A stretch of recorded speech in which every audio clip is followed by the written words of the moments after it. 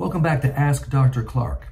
In these short videos, well, some short, some a little longer, I answer questions from podcast subscribers, my podcast subscribers, my YouTube subscribers, people I've talked to on the phone in my phone advice sessions, which I'm doing more and more of across the country, people calling in with marital crises questions, and really anyone who wants to send me a question about their marriage crisis, about their personal life, Dr. Clarke knows a lot of things with God's help. So if you want to email me your question and have it in one of these videos potentially, just email directly to my uh, my personal email, David E. Clarke, that's Clarke with an E on the end, David E. Clarke, PhD, at gmail.com.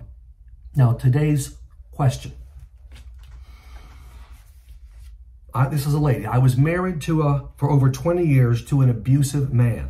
Well, I talked to a lot of ladies married to abusive men. He never hit me, but he emotionally abused me on a regular basis.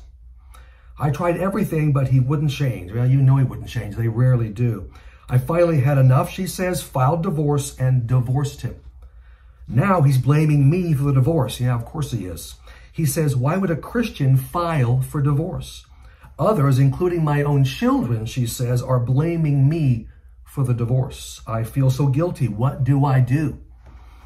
Now, my answer is going to be in the form of an excerpt from the brand new book I'm working on right now, which is a book on recovering from divorce. It just happens to fit this question perfectly.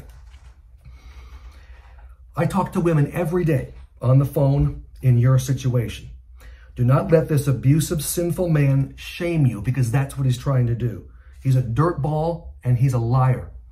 He is continuing to abuse you even after the divorce, and that's exactly what abusers do. Not that you needed confirmation, but the fact is he's confirming your decision to divorce him by continuing to emotionally abuse you. Listen to me.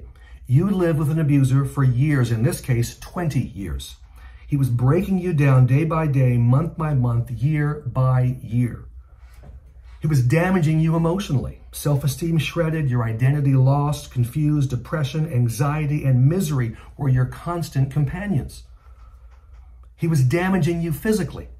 Fatigue, exhaustion, a variety of stress-induced physical problems. I can't tell you how many women I've seen in my therapy office and even working with in my phone advice sessions who after they've divorced their abusive spouse, their all their physical problems and many of them go away and there's tremendous physical health. That's because an abuser destroys you physically. He was damaging you spiritually. He didn't have the energy to be close to God and to serve Him because he was sapping all of it. Your abuser wasn't going to change. He had years of opportunities and blew them all. Most ladies in this situation try seminars, talking to their pastor, seeing a therapist, reading books. It doesn't help because he's not changing. Why should he change when it was always, always your fault? You finally had enough of the damage and you filed and divorced him. It's very common, though sickening, to have many people in your life blame you for the divorce. Your ex certainly blames you because he always blamed you for everything. He lies to others about you and says with a smirk on his narcissistic face, well, she filed. It fits his twisted, stupid narrative perfectly. The assumption is you had no right to file. Oh, yes, you did. More on that in a moment. Your kids, especially your adult kids, may blame you for the divorce. You see, they're used to you taking the blame, and he spent years poisoning them. So they're going to side with him, at least initially. Members of your own family may blame you for the divorce. His family will, because blood goes with blood. We understand that. But some in your own family might also blame you. These family members wanted you to stay married because your divorce is causing them inconvenience. Yeah, well, they don't even care about your misery. Some of your friends may blame you for the divorce. I should say ex-friends because any friend who blames you should be dumped now. These persons are calling you a liar and they don't care about you. You've told them about the abuse, whatever. They don't get it. Your pastor may blame you for the divorce. He'll say you didn't have biblical reason to divorce your spouse. More on that a bit later. Worst of all, you may blame yourself for the divorce. You didn't want to divorce. You simply had no choice, but you still blame yourself. Your abusive ex is still in your head. Part of the recovery process in this new book I'm working on is going to be to help you get your ex out of your head and move forward. These persons that blame you did not see all the pain and carnage your abuser caused you. Even your kids don't get it. They were shielded from it by you, probably, as much as you could to protect them. These people expected you to continue to be the good wife and stay in the marriage no matter what. All they can see is that you filed. You broke the rules for Christian wives, not the biblical rules, and that's the good news for you, but the old school Christian community rules. You were supposed, which are you were supposed to stay married, tolerate his abuse, and shut up. That's all the church really wants you to do, many churches. Of course, in many parts of the Christian community, even if your abusive ex had filed on you, the divorce would still be your fault. In many churches, it's always the wife's fault. And maybe your lying ex has convinced them it's your fault. Most abusers are very persuasive, brilliant liars. They come across as very in, sincere because they believe their own lies. You know what I say? Of course you filed for divorce. Of course you divorced your abuser. That was a healthy and yes, a biblical thing to do. He was destroying you and destroying everything precious to you and he was never going to stop his abusive behavior. Do you think for a moment that God would want you to continue to be destroyed? No, he wouldn't. Other people might, not God. Again, I say, not that you need confirmation, but his continued uh, efforts to blame you and make you suffer confirm that divorcing him was the right action. He destroyed the marriage, not you. He ended the marriage, not you. You simply formalize what he had already done ongoing, listen to this, this is important, uh, and the church doesn't get this yet. We're starting to see a little bit of movement towards this, but not too much yet.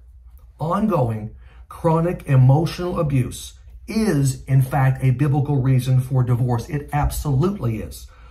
More on this, I'll explain this more in the book that I'm writing right now, but I'm telling you, it is. I've been to two seminaries, I graduated from both of them, and I know what I'm talking about.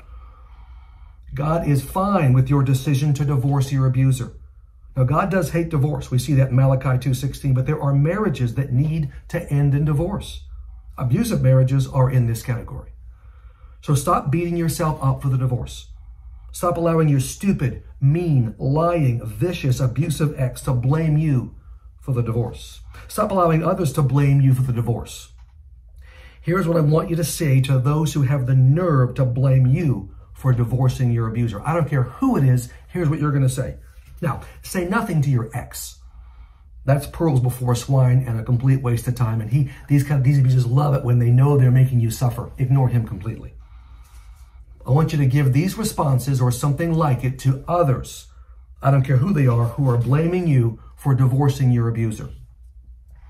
You, and I want you to be sharp and I want you to be assertive.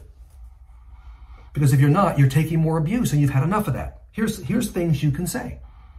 So, You'd prefer me staying in the marriage and being destroyed?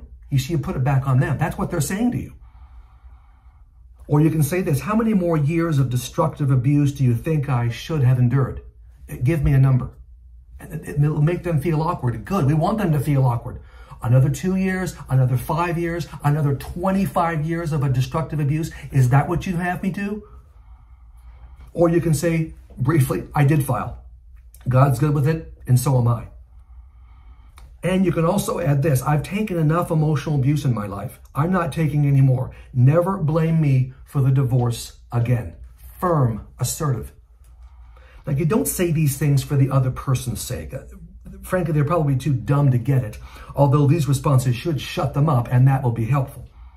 Because once you lay this on them, they're probably not going to bring it up again. They can still think it's your fault. Who cares? You don't want to keep hearing it. You say these things for yourself, to empower yourself, to speak the truth, and to not allow more abuse. You've had enough of that. And frankly, God thinks you've had enough of it. Now, four things as I close. One, I want you to get my book, Enough is Enough How to Leave an Abusive Relationship. It will confirm that you made the correct choice, the biblical choice, to divorce your abuser. Now, I never recommend divorce. That's not my business. That's God's business and your business. But before God, with an abusive spouse, you tried everything else. Yeah, he's okay with your divorce.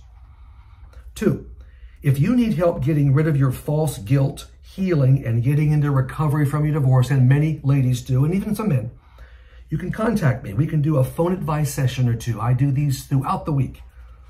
Uh, DavidEClarkePhD.com is, is the place to go. Uh, for even a couple of sessions can get you going in the right direction in terms of you talking through your issues and me helping you get on the right track. Three, I'm asking you for your help, your input, and this is important to me uh, as I write this new book on divorce recovery. Uh, of course, I've worked with divorced people for years, and I've got a, I've got my outline, but I, I'm still gathering information because I want to cover every topic the right way. If you divorced your abuser, or if your spouse divorced you for non-biblical reasons, you've been through a divorce, email me topics you'd like me to cover in my book. Even those of you who who sinned terribly and your spouse divorced you for biblical reason, and you, and you feel shame and guilt, you're trying to struggle. Again, whatever your situation, send me the topics you'd like me to cover in this new book. That way I can cover all the bases, and that input will help me. So those of you in my community, email me topics you'd like me to cover in this recovery from divorce book.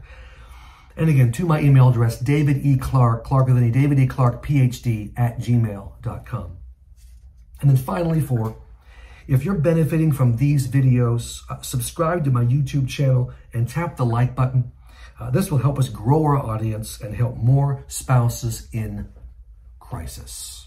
So until the next Ask Dr. Clarke video, Dr. David E. Clarke, signing off.